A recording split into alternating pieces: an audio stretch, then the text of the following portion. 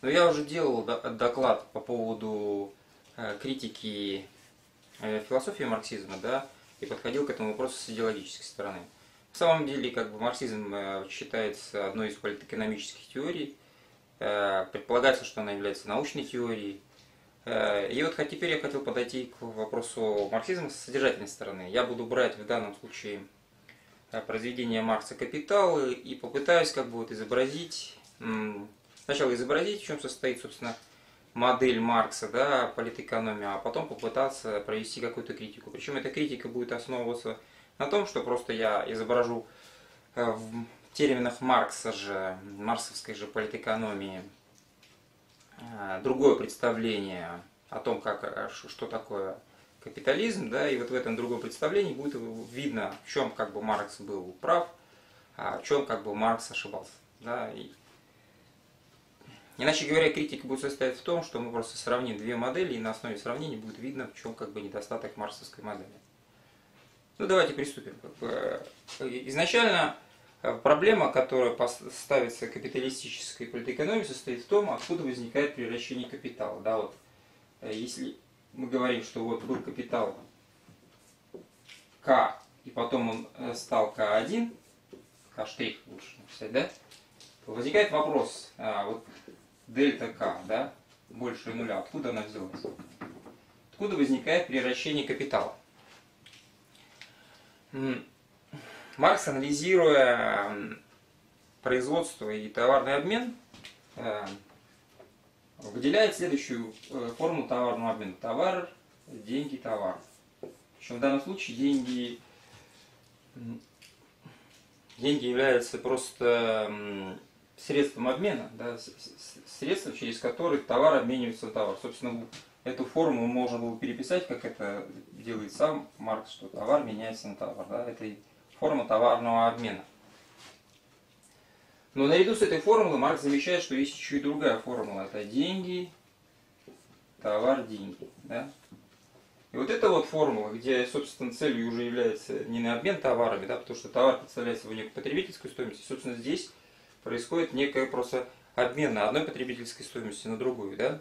А, здесь целью являются уже просто деньги, как бы, и весь вопрос, который связан с тем, что такое капитализм, Маркс рассматривает на основе следующей формулы, как когда Э, деньги, товар, деньги, штрих, и э, деньги, штрих минус деньги, да, вот это вот некое превращение, да, денег, оно больше нуля.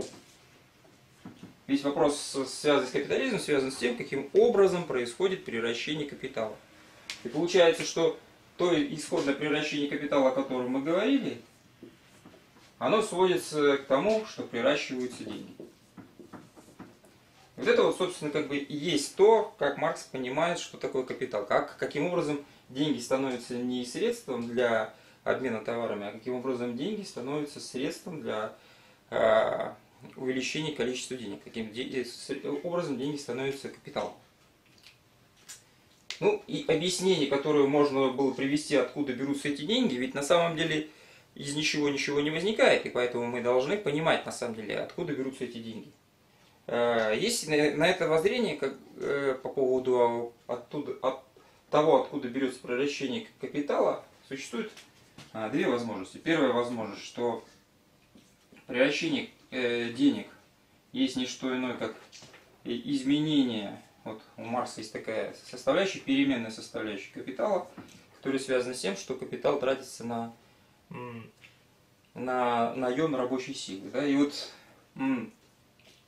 изменение этой части капитала, поскольку наемная сила является таким товаром, который сам производит э, стоимость, да, э, и э, анализирует, так, каким образом может возникнуть здесь превращение, Маркс доказ, доказывает э, вполне очевидно, что э, часть рабочего времени рабочий работает на то, чтобы э, обеспечить свою зарплату, да, это вот это. А вот дельта В это то часть рабочего времени, которое капиталист э, не оплачивает рабочему, который, которая, которую рабочий работает на капиталиста. Да? И, и то, и другое это некоторый вложенный труд. И, собственно, э, вся загадка от того, как превращается капитал, состоит в том, что вот капиталист но он это не обязательно он это делает сознательно, да, но просто в данной системе капитализма он присваивает э, часть э, труда, а, нет, часть неоплаченного труда рабочих. Это первый вариант. А второй вариант, который, за которым стоят такие имена, как Адам, Смит и Рикардо, и другие политэкономы, да, они говорили о том, что тот прибавок, который мы здесь имеем, прибавка денег, она связана э, с некой наценкой. Да, вот есть наценка. Здесь есть некая проблема, связанная с тем, что если все совершают наценку, то, собственно, откуда возьмутся последние деньги, да, потому что, ну, мы этот вопрос потом изучим просто э, для того, чтобы не, сбрасывать все в одну кучу, да, вот, вот главное, вот две возможности, либо, то есть эта наценка появляется в, в, в обмене, наценка в обмене.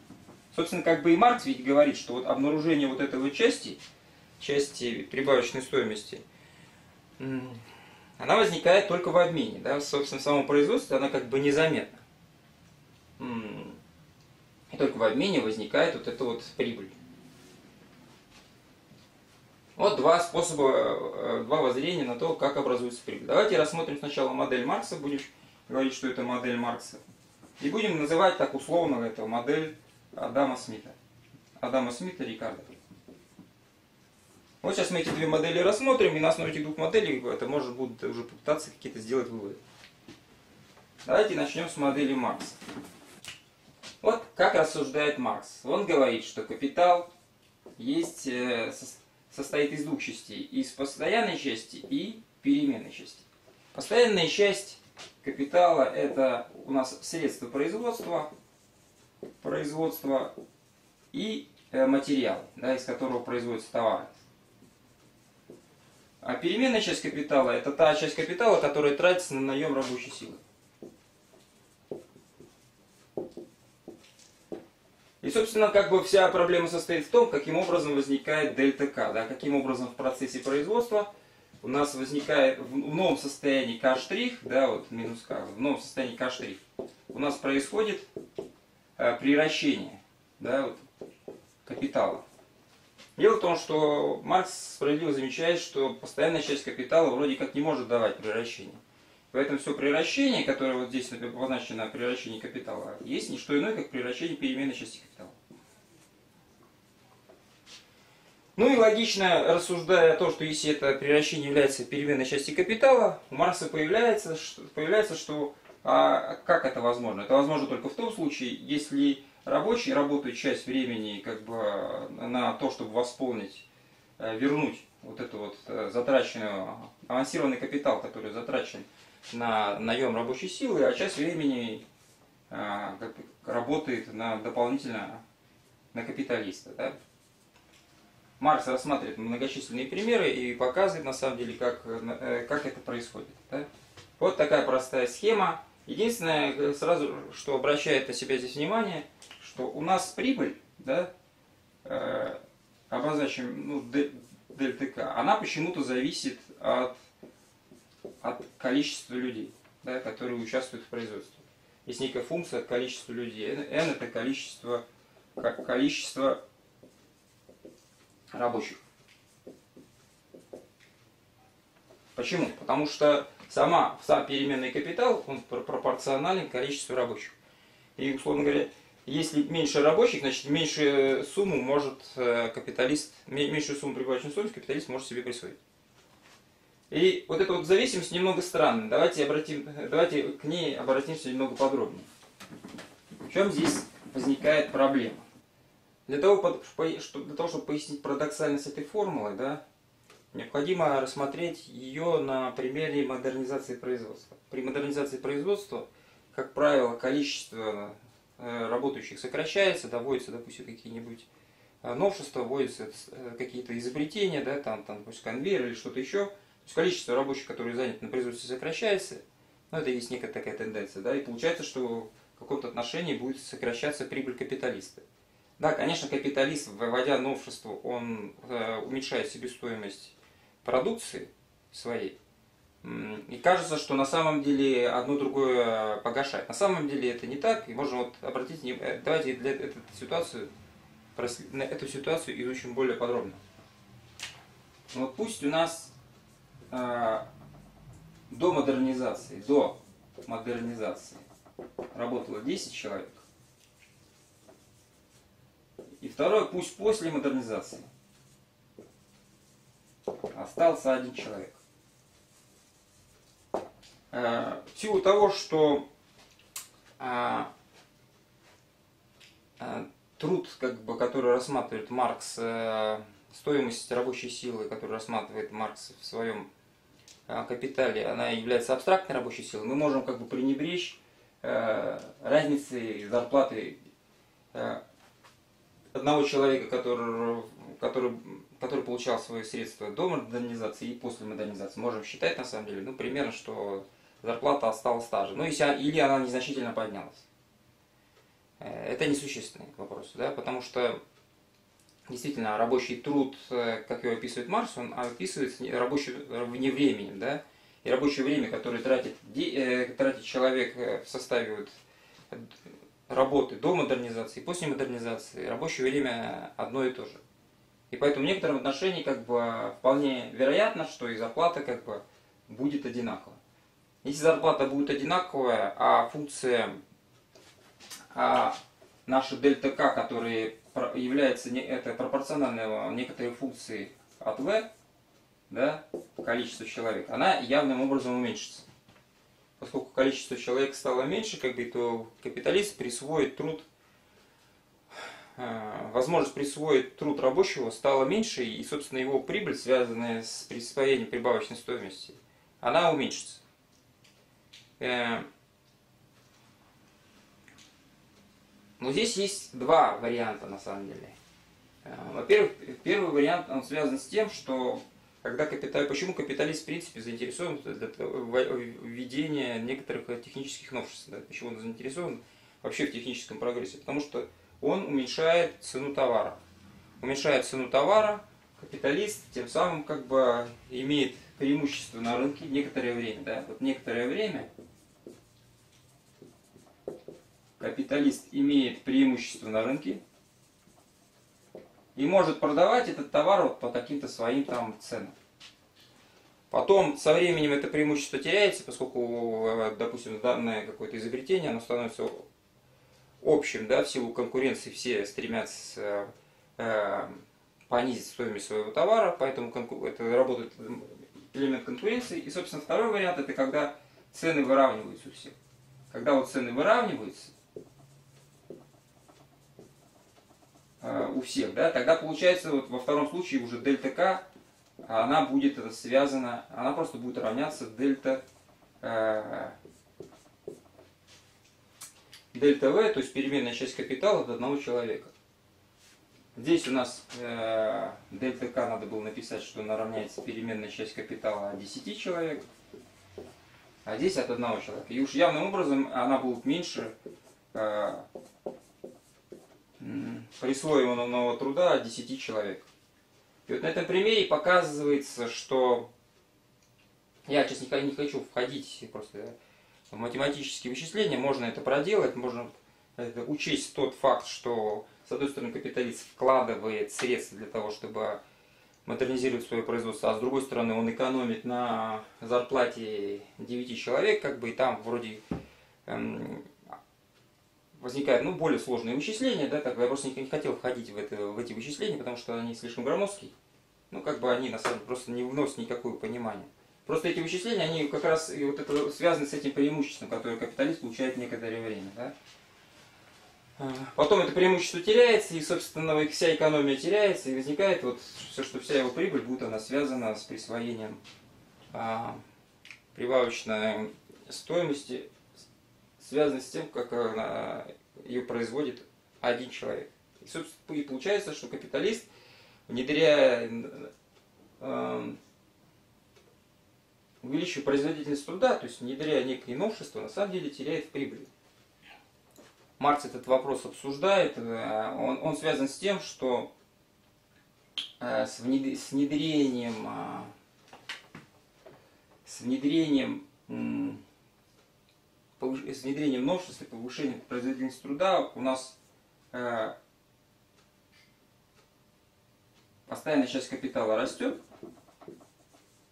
а переменная часть капитала падает. И, соответственно, отсюда следует, что э, норма прибыли, которая связана, согласно Марксу, она падает. У нас получается, что капиталист все больше и больше вкладывает капитала, а норма прибыли падает. И теперь предположим, на самом деле, что капиталист э, не присваивает э, такой предельный вариант, посмотрим, да, как будто капиталист не присваивает прибавочную стоимость рабочего, то есть дельта V равняется нулю. А отсюда тогда будет следовать, что э, прибыль, то есть превращение капитала будет равняться нулю. Иначе говоря, как бы в предельном переходе такой логики, да, капиталист не заинтересован а, в увеличении, ну то есть вот что это такое, это как бы вот, э, если брать как бы крайний пример, это роботизированное производство, где как бы человеческий труд ну, почти полностью заменен трудом э, роботов. роботов. Да, и получается, что в, в, в модели Маркса э, капиталист должен был, по идее, быть не заинтересован в введении каких, какого, всякого рода новинок и изобретений, повышения производительности труда. Потому что повышение производительности труда сокращает количество человек, занятых на производстве, да, и тем самым уменьшает его прибыль. Но даже если капиталист составляет количество человек, занятых в производстве, и увеличивает просто вложенный свой капитал, да, вот он просто э, расширяется, да, то тем не менее э, у него все равно падает норма прибыли на капитал. А, и причем падает она тем способом, что в предельном переходе вообще его норма прибыли будет равняться нулю. Вот это вот странная как бы закономерность, которая сразу бросается в глаза в модели в модели капитализма Маркса. Откуда берется такая, такая странность? Дело в том, что Маркс э, вводит капитале два допущения, да, которые существенно влияют на анализ того, что представляет собой капитализм. Первое допущение. Оно связано с тем, что когда Маркс говорит о деньгах, о деньгах он деньги да, приравнивает к золоту. То есть такому товару, как золото. И, и у него получается, что э, что золото э, является тем эквивалентом, через который происходит обмен товаров. Да, и поскольку золото является некий, некой стоимостью, которая, э, хотя эта стоимость, как, как стоимость товара немного колеблется на рынке, да, но тем не менее она является стоимостью, да, то не, невозможна такая вещь, как девальвация. А, то есть девальвация невозможна, и поэтому система его капитализма, если представить себе всю совокупность товаров, весь валовый продукт, она представляет некую замкнутую систему, да, то есть валовый продукт, он растет, но он растет на величину произведенной стоимости, то есть на величину вложенного труда. Но эта система замкнута в том смысле, на самом деле, что вот это э, превращению денег неоткуда взяться извне. Потому что э, система замкнута и, и нет девальвации, то есть э, не происходит никакого расширения, хотя экономика растет, растет за счет вложенного труда, да, но, но поскольку как бы есть закон стоимости, при котором все товары обменятся согласно своей стоимости, да, то э, дельта D неоткуда взяться, кроме как из э, перераспределения э, долей капитала. Да, вот есть некое перераспределение общего пирога, который существует, да, и капиталист, как бы вот он э, часть зарплаты платит рабочему, а, а часть он выплачивает за, э, рабочему только часть зарплаты, а часть, которая связана с, с прибавочной стоимостью, он присваивает себе. И, собственно, просто вот и такая ситуация только возможна только в том случае, если э, нет такого механизма, как девальвация, да, вот если нет, механизма внешнего притока в систему денег. Система как бы растущей экономики, да, она растет, но тем не менее она в силу того, что деньги э, имеют золотой эквивалент, да, э, вся прибыль может возникать только в силу того, что как на бирже, да, как в силу перераспределения исходной стоимости. То есть вот как на бирже, если э, пренебречь э, брокерскими расходами, да, если как бы считать, что на бирже люди обмениваются без, без дополнительной нагрузки, да, тогда получится, что на бирже деньги каким образом перераспределяются? Тот, кто выигрывает, он, это, он просто получает ровно столько денег, сколько ровно столько, сколько другой проигрывает. Да? Всегда прибыль на бирже связана с тем, что кто-то должен проиграть. Точно так же и в схеме Маркса, да, вот в модели Маркса, перераспределение денег происходит за счет того, что кто-то выигрывает, э, ну, выигрывает в том смысле, что каким-то способом присваивает э, деньги другого, да, а кто-то проигрывает, да, кто-то как бы проигрывает в том смысле, что как бы он недополучает. И поэтому совершенно очевидно, что в такой системе неоткуда было бы взяться э, прибыли, кроме как из, из получения, а, из, кроме как из эм, недооплаты, да, или как бы присвоения э, части стоимости, которую производит работник, которую производит рабочий. Это первое допущение. А второе допущение, оно связано, как я уже говорил, с тем, что Маркс вводит некое понятие абстрактный труд. Абстрактный труд. Да, и этот абстрактный труд, поскольку он, э, он говорит, что всякий труд, э, всякий труд имеет некую меру э, своего сравнения в стоимости товаров, поскольку товары циркулируют на рынке, то тем, тем самим фактом того, что они обмениваются друг другу, э, на друг друга, возникает э, такой, возникает такой фактор, как э, некая мера, мера которым один труд приравнивается к другому. И он говорит о том, что можно пренебречь э, различными видами труда и говорить э, о каком-то простом труде. Да? Он говорит, что вот, то есть, иначе говоря, какой-то более сложный труд есть на самом деле некий коэффициент, умноженный на простой труд. То есть просто есть некая э, функция, еще линейная функция как бы от простого труда. И поэтому он весь абстрактный труд может свести к такой вещи, как время. Да? время. И вообще в капитале продолжительность рабочего дня. Продолжительность рабочего дня.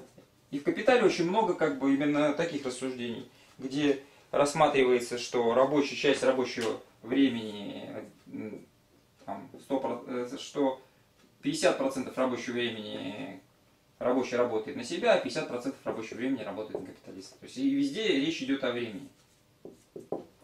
Значит говоря, абстрактный труд в силу того, что он при, приравнял все виды труда, как бы он свел, можно этот абстрактный труд свести к некой более э, понятной мере, то иначе говоря, линейной мере, как время, и с помощью этой меры уже мерить, собственно, труд. Да? То есть продолжительность рабочего времени. Вот две, два таких э, введения, они обеспечивают э, логику Маркса и, собственно, как бы поясняют его модель. Для того, чтобы как бы перейти к критике этой модели, надо рассмотреть модель ну, я ее условно назвал модель Адама Смита Рикарда, Смита Рикарда, да, вот, которая связана с тем, что можно понимать э, приращение э, денег не как присвоение капиталистам прибавочного, прибавочной стоимости, произведенной рабочим, а как некую торговую наценку. Потому что и, и Маркс тоже говорит о том, что прибыль капиталиста, она возникает уже при обмене, а не, собственно, в производстве. Давайте рассмотрим эту модель. В чем состоит эта модель? У нас опять возникает э, капитал равняется, да, будем рассуждать в терминах э, Маркса для того, чтобы сравнить две системы. Да, вот есть пере, это постоянный капитал, переменный капитал, это первое. И К', как бы, как это момент, когда продукт был произведен, да, вот мы перешли во второе состояние. У нас, опять же, переменный капитал Постоянный капитал остался тем же, он полностью перешел на продукцию. А, э, переменный капитал точно так же полностью перешел на продукцию, то есть зарплата она учтена в стоимости товара, да, и при плюс некой дельта D, где дельта D это наценка, торговая наценка.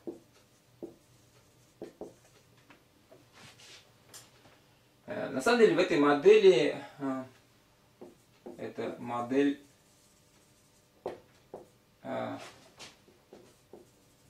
Адама Смита Рикардо. Торговый насос. В чем состоит проблемность этой модели? Проблемность этой модели состоит в том, что если все наценят э, дельта D, то как бы получится, что никто не выиграет. Действительно, вот допустим, допустим, посмотрим первую ситуацию. Вот два капиталиста, да, э, обмениваются своими товарами. Каждый из них производит какой-то товар. Допустим, этот капиталист э, наценил на, на свой товар, вот у него есть себестоимость, и он наценил некую наценку дельта D, да, на эту себестоимость. И этот капиталист точно так же на свою себестоимость, да, э, S1 оценил свою дельту, свою дельту. Они обменялись товарами, и получилось, что каждый из них на самом деле, ну, предположим, что дельта, что они наценили, ну, это не умаляя общности можно сделать, что у них наценки одинаковые, да. То при обмене получится, что они ничего не получат, только что и каждый из них обменяет товары по себестоимости. То есть получится, что каждый из них купит товар ровно столько, сколько он стоит просто в силу вложения труда. Каждый товар, э, в нем, каждый товар есть некая имеет некую общую меру, эм, связанную с вложенным в него трудом. Получится, никто ничего не заработает, собственно, и как бы получится просто такой обмен. А ведь хотелось бы получить прибыль. Можно теперь взять более сложную цепочку, где участвует там не один, ну, можно показать, что не, два капиталиста, а какой-то n капиталистов. И если эта цепочка опять же вот так замыкает, опять же получится, что общее превращение будет равно нулю. Вот если так 8 капиталистов по кругу, вот так вот, в результате наценки проходит по кругу, зацикливается, как бы, и опять же, получается, никто ничего не зарабатывает. Ну и единственная возможность выйти из такой замкнутой системы состоит в том, что есть некий последний потребитель, который, собственно, просто потребляет уже не стоимость товара, да, как в данном случае, а потребляет потребительскую стоимость. Да, то есть он просто использует его, этот товар, уже никуда его не, не продавая и не используя его, вот как, например, в обмене двух капиталистов в качестве материала для производства какого-то другого товара. То есть, иначе говоря, допустим, вот и существуют у нас вот такие замкнутые цепочки, да, внутри как бы капиталистической системы, да, и вот все они как бы извлекают прибыль из того, что продают некому конечному потребителю, потребитель, конечный, то есть цепочки разрываются. И вот этот потребитель, собственно, и платит эту дельту. Да и она здесь уже больше нуля. Поэтому в такой системе э, при, при, при понимании, что дельта, которая получается в результате э, увеличения капитала, она связана с, просто с наценкой, она возможна только в том случае, если действительно есть такие потребители, да, конечные, которые используют товар просто по назначению, согласно своей потребительской стоимости. И вот это и есть понятие потребительского общества, да, почему оно, почему как бы, э, оно существенно, допустим, вообще для понимания экономики. Поэтому, как бы, если в этой системе, в общем случае, прибыль оказывается связана с, с тем, что потребитель выплачивает некую дельту, да, то это получается, что, э, что этот потребитель должен эту дельту, где-то дельту взять. Откуда он эту дельту может взять? Потребитель сам на самом деле тоже где-то работает, да, и он зарабатывает как, какие-то деньги. Но на самом деле его деньги, если рассматривать э, в системе Эм, которую рисует Маркс, да, вот, э, вот он получает э, э, некую зарплату, связанную с переменным капиталом, она ему выплачет, то на самом деле он эту, если эм,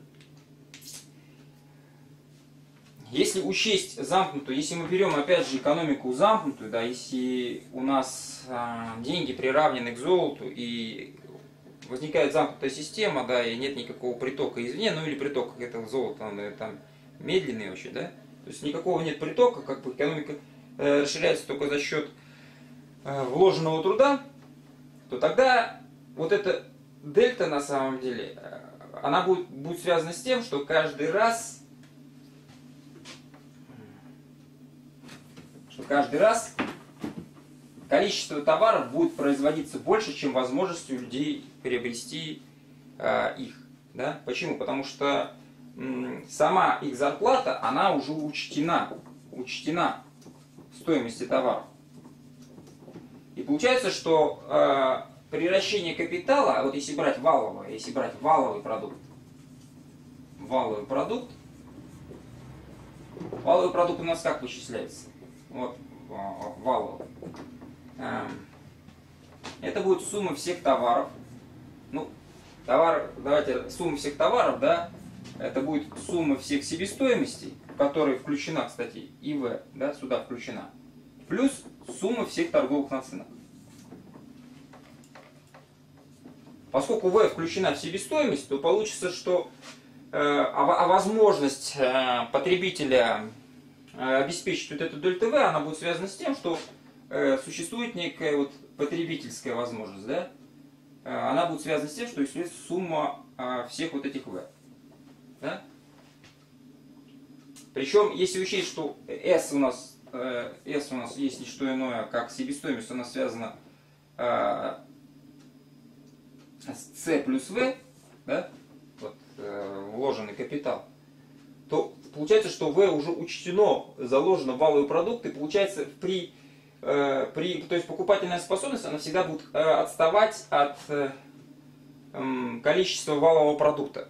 И мы будем получать то, что называется кризис перепроизводства. Почему? Потому что покупатели, они могут обеспечить покупку только части валового продукта. И они не могут обеспечить покупки как бы э, покупку всего товара. Почему они не могут это сделать? Потому что вот это дельта D неоткуда взяться, да, и, собственно, эм, э, для того, чтобы покупатели вообще могли что-то продавать, продуктов надо произвести э, больше. Э, и когда мы продуктов производим больше, у нас получается э, больше вложенного труда. То есть, иначе говоря, каждый раз опережающим образом количество продуктов товаров будет больше, быстрее расти, чем будет расти покупательная способность э, покупателей. И, соответственно, возникают кризисы при перепроизводстве, при которых как бы товары просто некуда девать. А, в марксовской модели эти кризисы производства понимались как просто связанные со стихийностью капиталистической экономики, то есть отсутствием планирования. И э, они вызываются тем, что просто деньги спешат э, перетечь в ту, ту, ту отрасль, которая дает больше норм прибыли, да, и поскольку они там как бы накапливаются, да, возникает э, кризис в этой отрасли, да, как бы кризис перепроизводства, тогда деньги как бы перекатываются в другую отрасль. Вот такая система, да, и эта система, на самом деле, она существовала, а, ну, как бы, вот эта система, мадам э, Смит и Рикардо, они не могли объяснить, как, как будет с ней быть, да. Э, Маркс э, в этой системе объяснил тем способом, что он сказал, что вот эта наценка на самом деле не является наценкой, а является утаиванием товара. То есть он как бы вернулся к старому философскому тезису, что из ничего ничего не возникает, и поэтому дельта D на самом деле есть вот эта вот а, прибавочная стоимость, да, вот прибавочная стоимость, которую производит, э, которую производит рабочий, и которая не оплачивается. И тем самым, как бы, вот этот парадокс, который здесь возникает, он как бы убрал. Но на самом деле этот парадокс можно убрать еще и другим способом. Да? Вот, и для того, чтобы это показать, надо взять третью модель. Третья модель – это инфляционная экономика она связана как раз с тем, когда, с, той возможностью, что деньги, вообще говоря, можно от золота отцепить. И на определенном этапе, э, по-моему, там, в 70-х годах, что ли, да, ну, это, если брать историю, то связано с тем, что была система бреттон-вудская, при которой э, доллар был привязан к золоту, да, и иначе говоря, вот была замкнутая система, да, в которой золото, это производство Э, производство денег регулировалось э, возможностью производства золота, да, поскольку золота было мало, как бы, то система, как бы, она была замкнутой. Это, с определенного момента поняли, на самом деле, что деньги можно от золота отцепить и, и начали использовать, и, намеренно использовать девальвацию. Это что означает? Вот инфляционная система. Инфляционная система. Ну, все то же самое, опять же, мы рассуждаем в терминах а, Маркса. У нас в начале капитал равняется C плюс V, а потом капитал, первый, да, а потом капитал, а, после того, как товары произведены, равняется C плюс V плюс дельта D. Причем это дельта D как э, обнаруживается, естественно, в обмене, да? И тогда возникает следующая система. А, опять же, можно рассмотреть, что по системе в циклических э, замкнутых системах получится, что да, и, и если мы будем, если бы мы рассматривали опять же деньги как привязанные к золоту, то у нас опять получилось, что в циклических системах, в циклических замкнутых э, обменах э, возникала бы нулевая прибавка, да, то есть люди менялись бы просто по, там, меняли бы товары по своей себестоимости, и, собственно, выгода был, означала бы только продажу э, последнему потребителю, да, то есть тому потребителю, кто использует данный продукт. А, но если у нас есть инфляционная система, то в инфляционной системе это не так. Это в инфляционной системе ее можно было бы изобразить следующим образом. Вот есть некая система да, экономики, как целая, да, и к нам э, со стороны приходят, печатаются деньги. То есть есть такое производство, как производство денег. Производство денег, которое никак не связано с производством золота. Дело в том, что производство денег должно быть, если мы каждый раз э, мы имеем, э, ну каждый раз экономика ведь растет, растет за счет того, что каждый раз вкладывается труд. И поэтому как бы есть какая-то необходимость постоянно печатать деньги, связанные с тем, что э, в силу того, связанные с тем, что просто каждый раз продукт увеличивает свою стоимость. То есть валовый продукт растет, да? И растет он в связи с тем, что это я еще раз говорю, что вкладывается все больше, ну, вкладывается труд. Это одно, но инфляционная система, она позволяет э, учесть еще не только вложенный труд, она учесть также и наценку. Ну давайте рассмотрим в общем случае. Вот наш валовый продукт. В начале, до того, как произведен товар, а, будет равняться сумма себестоимости прибавить сумму всех наценок. Да? Это первое.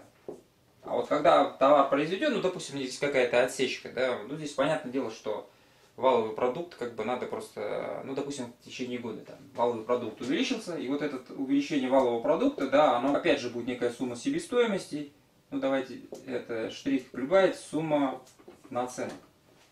А. Ну, давайте, не, не умаляя общности, будем считать, что себестоимость одна и та же. Но Потому что, конечно, себестоимость приращивается да, за счет вложенного труда, но для нас это, честно, несущественно. И тогда получится, что возникает вот эта вот а, существенная разница, которую мы уже не можем избежать да, вот, между наценками. Потому что это, э, э, каждый раз э, возникает вот, увеличение количества денег. Да, вот. Требуемо для того, чтобы ну, поскольку увеличилось количество себестоимости, то, соответственно, увеличилось количество э, необходимых наценок. Да? И поэтому э, возникает вот какая-то необходимость напечатать печатание денег, которые не обеспечены никаким товаром. То есть они обеспечены, это, это является чистой наценкой. И, э, и эти деньги необходимо напечатать э, для того, чтобы обеспечить вот такой рост э, прибыли. То есть прибыль здесь э, возникает за счет за счет, увелич... за счет э, увеличения количества денег, которые печатаются. И вот, собственно, пример такой экономики, например, э, и пример вообще такого инфляционной экономики можно взять, допустим, современные Соединенные Штаты, да, которые печатают доллары да, и экспортируют их э, в другие страны. Собственно, они просто экспортируют свою инфляцию.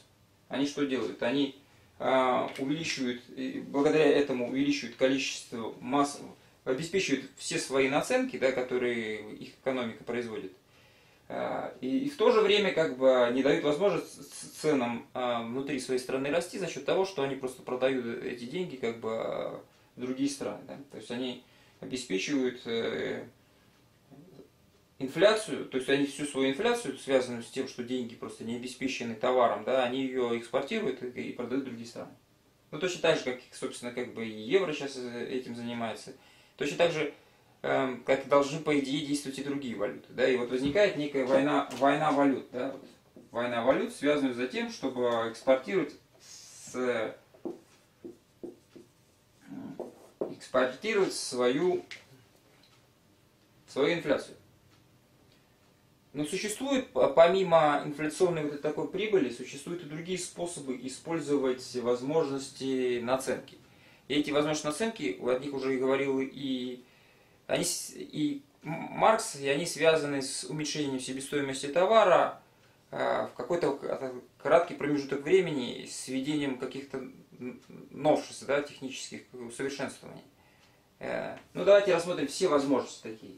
Потому что если мы рассматриваем экономику в смысле наценок, да, если мы считаем, что э, ну, в данном случае в понимании Канта у нас дельта В равняется нулю, да, то есть рабочему выплачивается вся зарплата, которую он заработал, то есть э, все, рабочее время его оплачивается полностью, да, и, и все, и все, вся превращение капитала понимается как просто торговая наценка. Так вот, если мы понимаем э, превращение капитала как торговую наценку, какие есть э, стратегии для того, чтобы э, улучшить свою позицию на рынке? Первая стратегия, она связана с тем, что вводить новшества. Новшества что делают? Они э, дают эффект преимущества, связанный с уменьшением цены.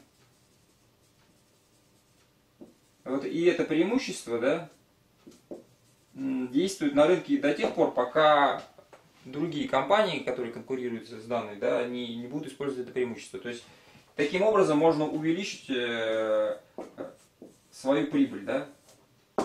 Это первый, первая возможность. То есть первая возможность, как бы некоторые применяют некую новую технологию, как бы эта технология уменьшает цену, как бы, и уменьшение этой цены дает как бы увеличение прибыли. То есть, потому, то есть в данном случае она выдает увеличение цены за счет некоторого преимущества, преимущественного положения на рынке. Вторая возможность. Вторая возможность, она связана э, с тем, что используют торговые марки.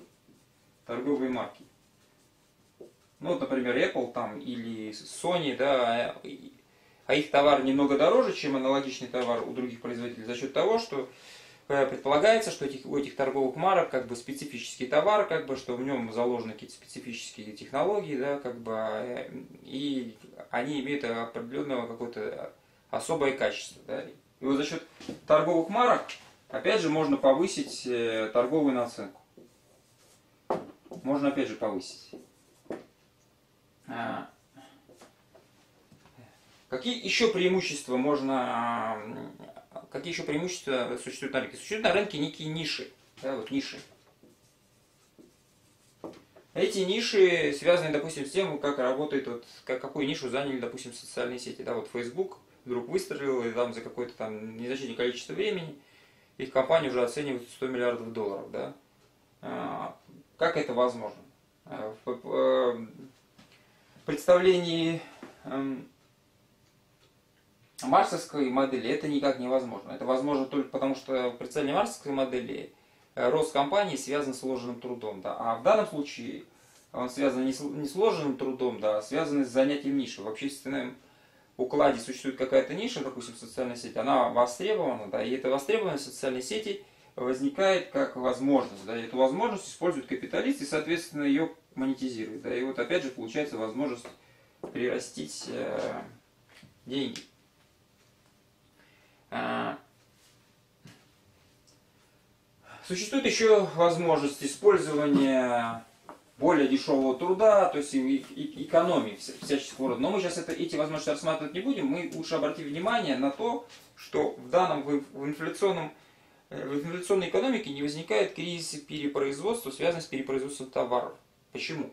Потому что в свое время, когда в 29 году, 1929 году в Америке был кризис, да, вот пытались понять, это был классический кризис перепроизводства товаров, пытались понять э, смысл этих кризисов, да, и обратили внимание, по-моему, это доклад сделал Кейси, да, на то, что этот кризис связан с тем, что просто м, покупательная способность э, э, людей как бы не обеспечивает рост производства, да, потому что она очень сильно отстает от э, предложения товара, да, и вот и всего этого постоянно возникает в определенном стечение обстоятельств, как бы в определенный момент да, возникает кризис перепроизводства товаров. И поэтому для того, чтобы обеспечить э, рост экономики, необходимо как бы постоянно обеспечивать рост покупательной способности денег. Каким образом это делается?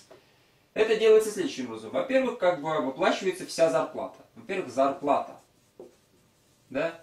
Вот при капитализме в марсовской модели, как бы капиталист был заинтересован всячески зарплату понижать, да, для того, чтобы извлечь больше прибыли. И вообще у него зарплата как бы была функция количества людей, которые участвуют в производстве.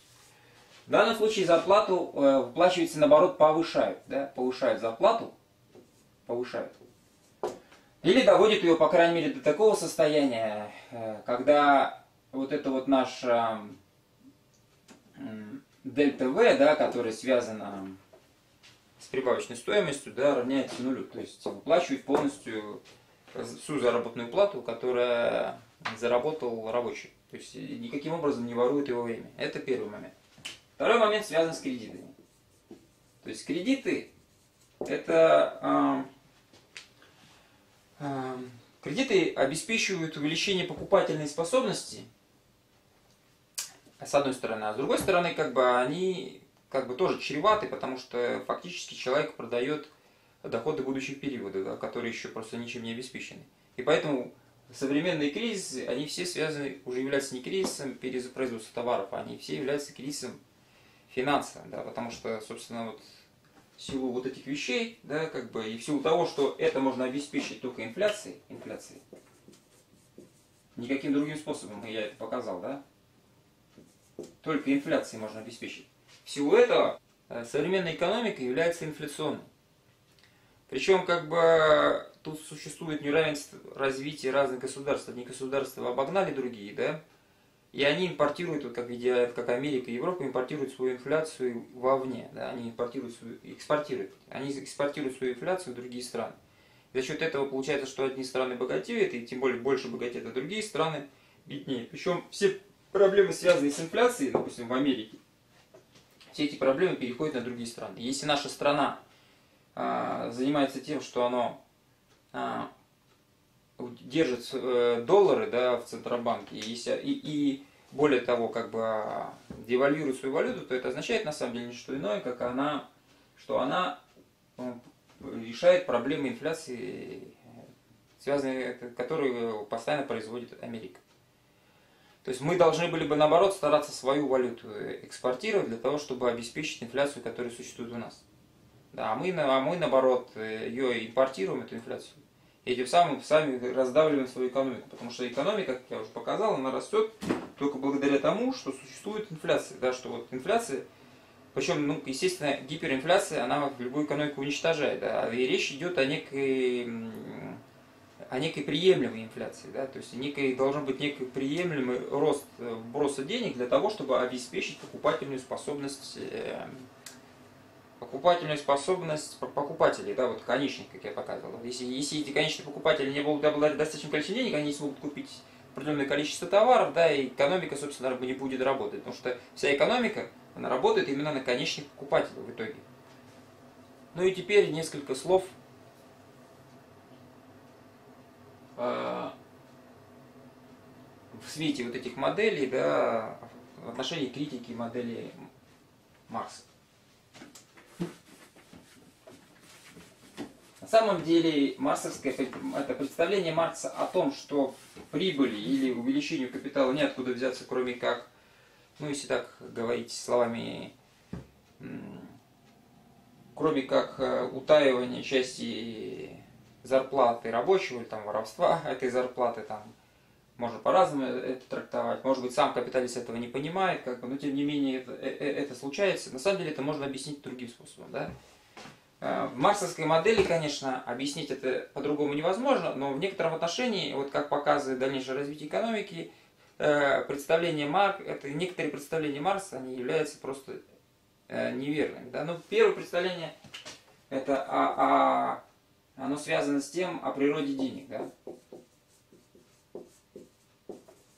Маркс на самом деле понятно понимал, что эм, природа денег свя это связано с тем, что они выполняют функцию некого эквивалента. Да? Это функцию накопления богатства, функцию, ну и другие какие-то функции. Там, сейчас мы этот вопрос обсуждать не будем.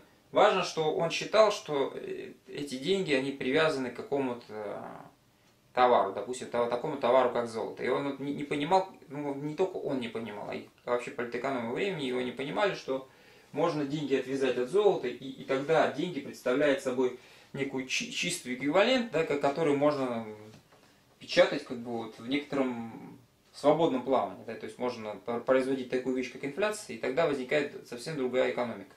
Это первый момент. Второй момент. Он связан с тем, что как, как э, Маркс понимает абстрактный труд.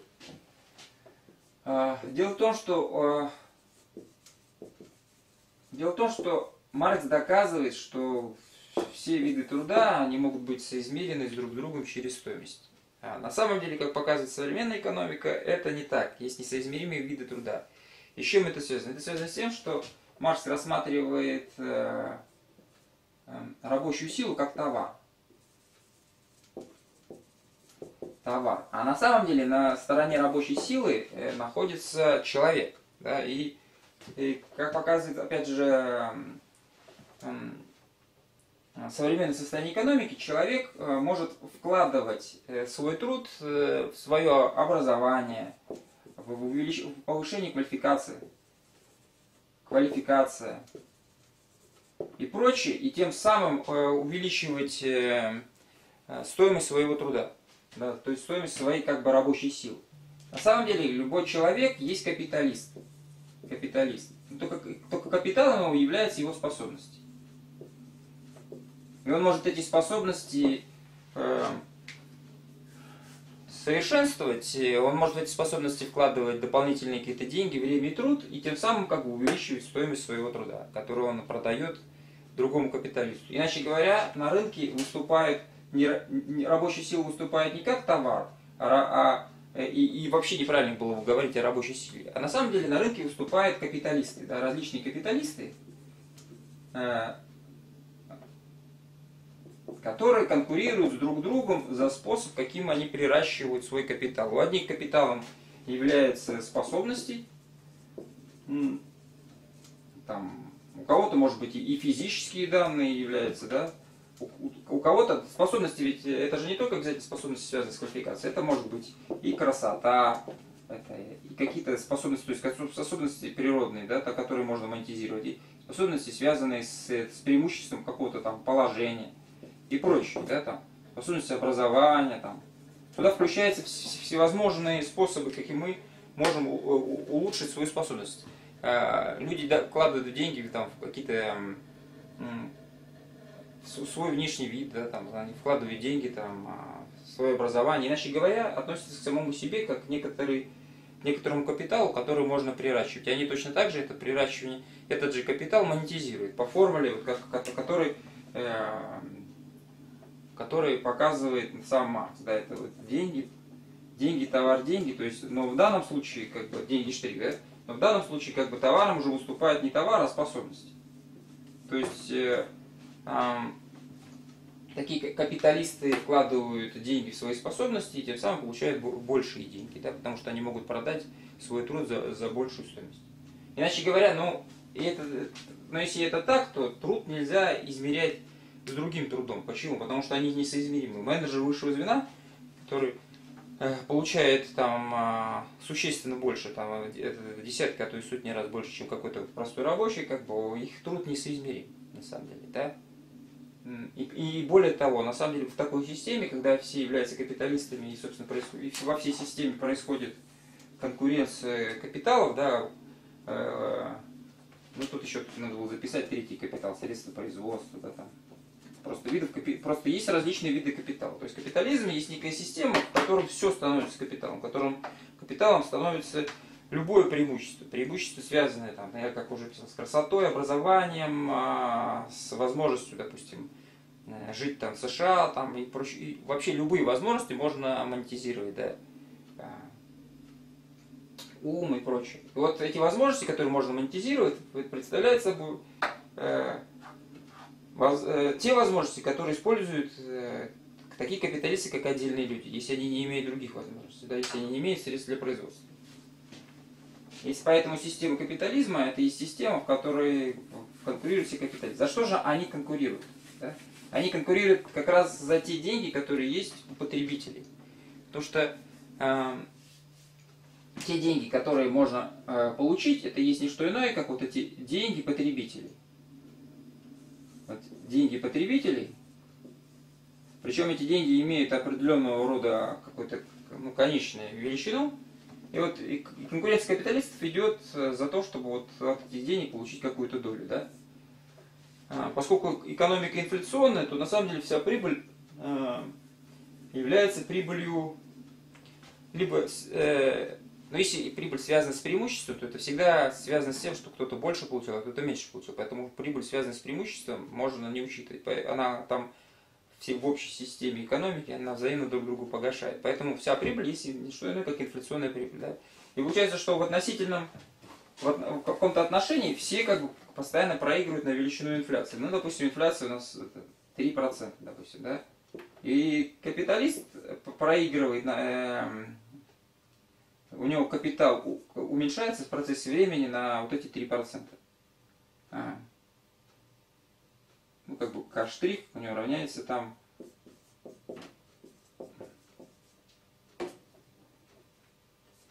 И какой-нибудь рабочий, да, его зарплата тоже уменьшается на эту на эти 3%.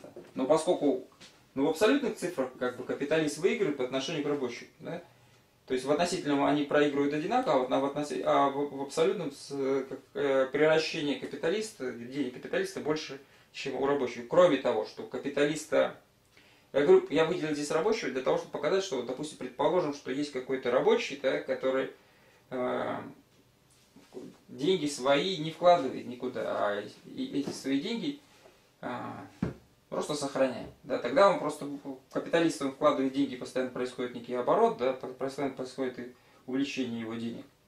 А рабочий он просто теряет деньги. И получается, что это получается, что современная экономика это можно представить как некое общий налог, прибыль, общая валовая прибыль по экономике, это есть некий общий налог на общество. Да, все это общество выплачивает капиталистам прибыль,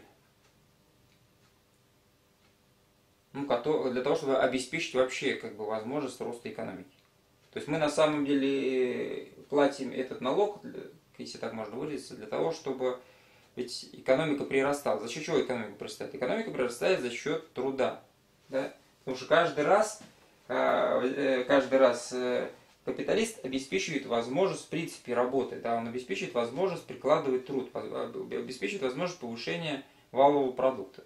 Потому что валовый продукт каждый раз повышается. Но капиталисту нужно обеспечить как бы увеличение его денег. Да? И вот это вот увеличение денег есть некий налог на общество, да, который общество выплачивает – ну, потребители, конечно, выплачивают капиталистам. Ну и, наконец, э, третья вещь, которую хотелось бы сказать, она связана с тем, что почему-то Маркс рассматривает вот эту цепочку, вот этот товар, деньги, товар, и там цепочки деньги, там, товар, деньги, штрих, да, скажем, он рассматривает их обособленно и говорит о круговороте, это как о товарном обороте, а это как о капиталистическом обороте. Но на самом деле если мы смотримся в то, как работает система, то в системе реально существуют как бы бесконечные цепочки. Да? Товар, деньги, товар, где товар и деньги постоянно меняют свою, свою э, форму. И в такой цепочке бесконечной можно выделять отдельные цепочки, где связаны с товарным обменом, и можно выделять другие цепочки, да, связанные вот с денежным обменом. То есть э, э, то есть, иначе говоря, сам кругооборот денег, он не является чем-то таким загадочным, он просто является просто выделением в общей цепочке как бы отдельной составляющей. Важно, что капиталист, важно здесь в чем состоит. Вот что такое превращение этого денег, да, теперь если э, рассматривать это с позиции современной экономики. Это не что иное, как бы а вот тот, как тот бонус, да, который заставляет капиталиста вообще вкладываться во что-либо, да, который заставляет его работать. Потому что он должен понимать, зачем он все это делает. Вот для того, чтобы это понять, давайте обратим внимание на социалистическую систему. Как, как же происходит э, получение прибыли в социалистической системе? Вот, допустим, у нас теперь социалистическая система, и капитал у нас был С плюс В, да, вот первая составляющая. А второй составляющий капитал э, будет э, С плюс В. Опять же, да? А поскольку у нас дельта В равняется нулю то есть отсутствие эксплуатации. Получается, это простое воспроизводство по Марсу. И такая экономика непонятно как может жить, поскольку как она может расширяться, потому что расширяться может только за счет вот этих денег. Да? Расширение невозможно. В инфляционной экономике, да, где постоянно есть прибыль, да, это расширение возможно. Здесь расширение невозможно, потому что вся затраченные деньги перешли на товар, как бы, да, и мы получили просто в силу отсутствия прибыли мы не можем как бы расширить производство и тем самым как бы расширять экономику. Для того, чтобы это можно было делать, необходимо это можно делать единственным способом. Либо мы опять вернуться к, э, к теме эксплуатации, и об этом писали отдельные авторы, да, французские авторы писали о том, что в социалистической системе есть не что иное, как опять же система эксплуатации, поскольку опять же возникает вот это дельта больше нуля. Да. Либо этим, либо вторым способом, как мы говорили, либо надо ввести инфляционную экономику. Инфляционная экономика. То есть никаких других возможностей не было. И на самом деле наша система, она работала вот в, такой, в таком режиме. То есть она работала в режиме э, государственного капитализма. Потому что вот эта вот составляющая прибавочной стоимости, она точно так же, как и в капиталистической системе, она бралась из, из, из того, что если считать, что как бы Советский Союз все-таки существовал, э, считать, что у него не было инфляции. Да, но на самом деле инфляция была, и поэтому Тут, как бы, видимо, надо говорить о том, что существовало, на самом деле, правильнее говорить, наверное, о том, что существовали оба возможности. И существовала и частичная эксплуатация, и существовала инфляционная экономика. Ну и последняя тема, которую хотелось бы просто обсудить, это, это тема проблемная. Вот представим, что мы имеем полностью роботизированное производство. Такие сейчас производства существуют, где почти несущественно Э, работа людей, да, то есть она почти незаметна. То есть, допустим, огромное производство, там вложено по сравнению, э, ну вот, капитал вложен, давайте просто напишем это, плюс В, причем э, В намного меньше, как существенно меньше, чем С, и поэтому мы называем его полностью роботизированным производством.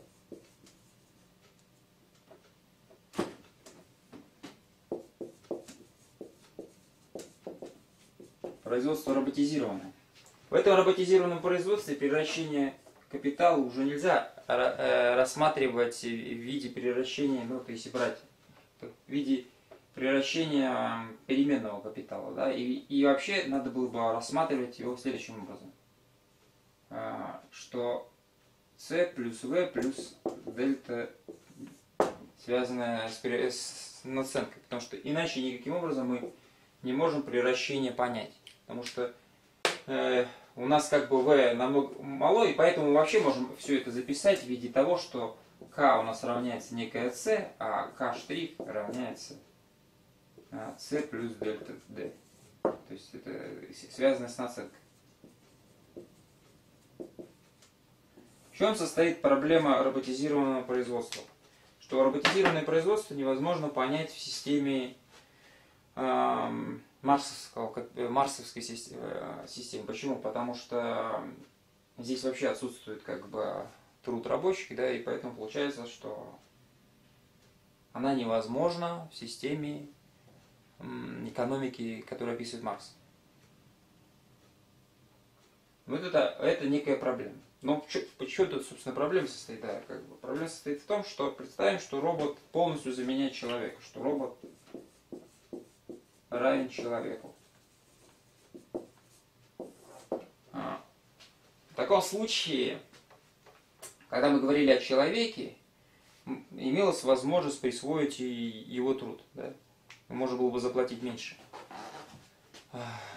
А каким образом присвоить труд? А труд робота мы присваиваем полностью. И поэтому все, что связано с трудом робота, как бы переходит э, а, на стоимость товар. То есть вот как она, она просто содержится вот в этом постоянном капитале. Да, и она полностью переходит на стоимость товара. То есть, иначе говоря, используя роботы, мы можем только понизить стоимость продукции. И в марксовском понимании, понимании, в системе, которую описывает Маркс, такое производство, как я уже сказал, просто невозможно.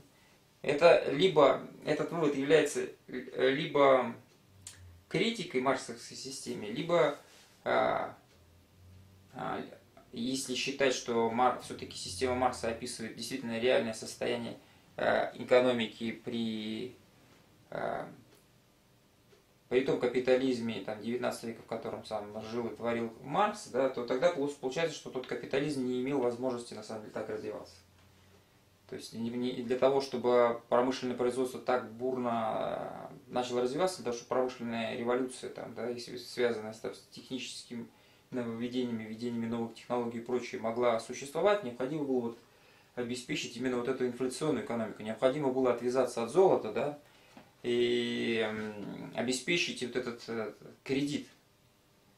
обеспечить как бы потребительскую возможность потребителям да, покупать товары, да, обеспечить, сбалансировать, иначе говоря, постоянный дисбаланс производства товаров и, и возможности покупателей этот товар покупать. То есть вот этот, этот дисбаланс, который существовал в классическом обществе, да, и обществе, которое описывал Маркс, товара и покупательной способности не мог быть решен.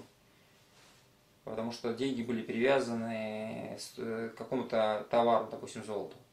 И только тогда, когда деньги стали печататься, как бы, и были отвязаны как бы, от э, некого эквивалента да, золотого, только в этот момент стала возможность обеспечить кредиты и обеспечить возможность, покупательную, покупательную возможность э, покупать товар. Но тогда возникает уже финансовый кризис. Да? На самом деле финансовый кризис просто есть иной кризис, э, иной способ как бы существования товарного кризиса. То есть товарный кризис просто, если мы решаем проблему с покупкой товаров, он просто перерастает в финансы.